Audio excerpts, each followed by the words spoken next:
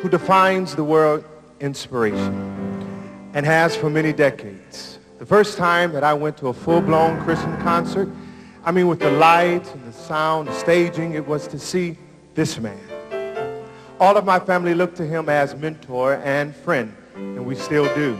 I'm talking about the inspirational music of Andre Crouch.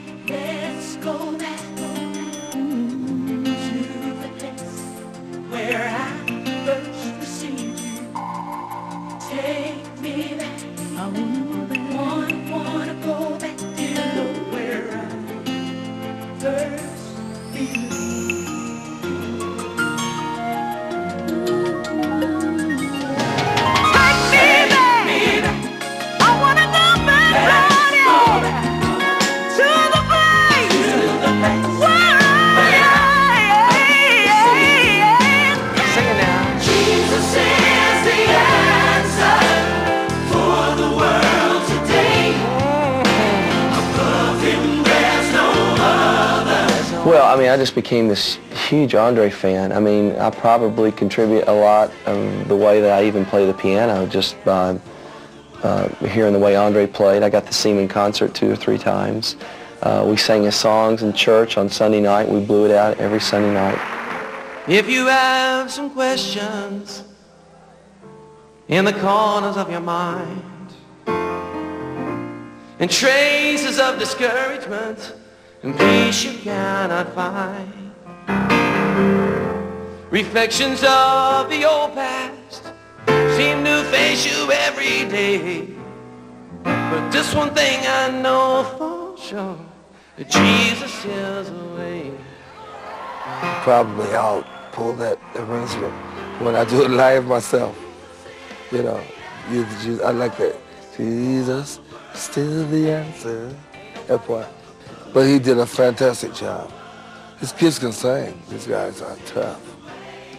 I feel so highly honored that God would allow me to still be around when these things are done. Because most people, um, when you hear a tribute to somebody, they're dead.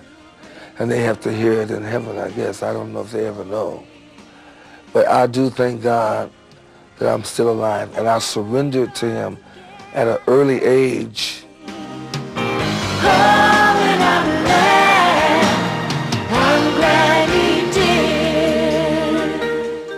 time I knew that Christian music could be cool was when I was 13 years old and I got a 45 single of I've Got Confidence. Yeah. Played it about 4,000 zillion times. And I think that right then was probably when I started knowing what I wanted to do with my life.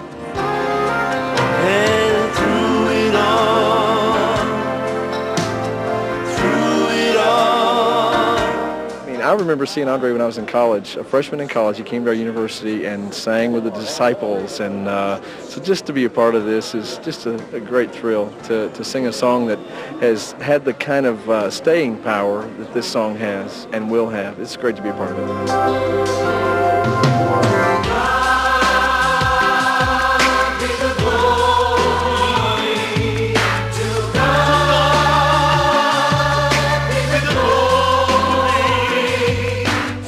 Up on Andre's music. I remember being like 10 years old and going to a concert of his down in Lakeland, Florida, where I grew up. I mean, he's a legend. I remember I grew up singing that song, my tribute in my uh, youth choir. And I go to Andre's church a lot in Los Angeles, so I feel right at home here, and I'm really glad that we're all together.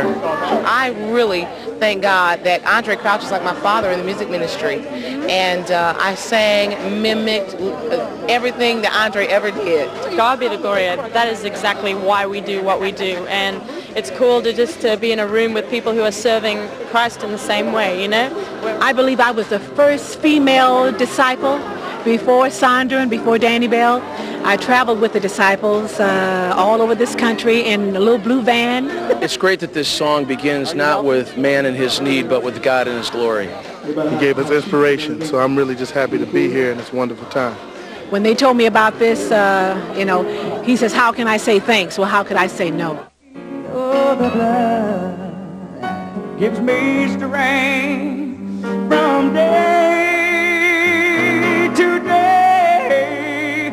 It never lose its power. When I first met him, I was surprised that he was so small and timid uh, as far as his uh, persona. He was uh, very nice and and he told me how much my music had meant to him. It's gonna rain. It's gonna rain.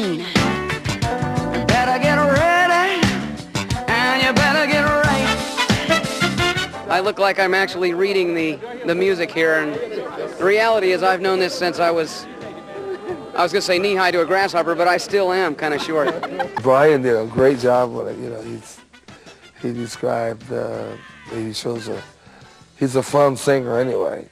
And most people would think he was black, you know, the way, way he, the way he sings. So I think he, he, he did a wonderful job. I'm sure the people are going to enjoy it.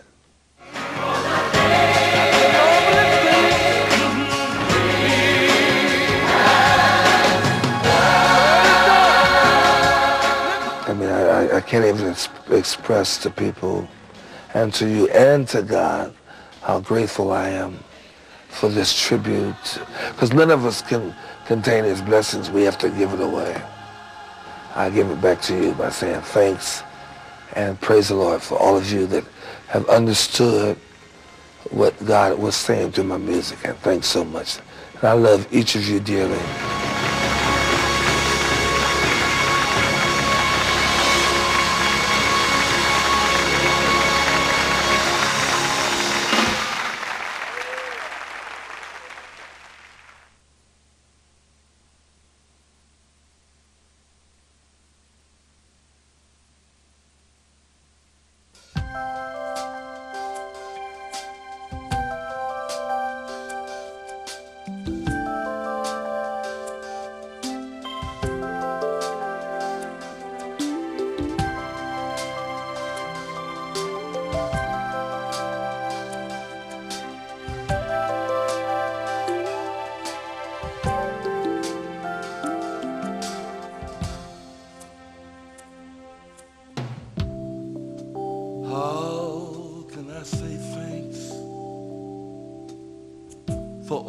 Things that you've done for me? Things so undeserved, yet you gave to prove your love to me. And the voices of a million angels did not express my gratitude. I am and ever to be.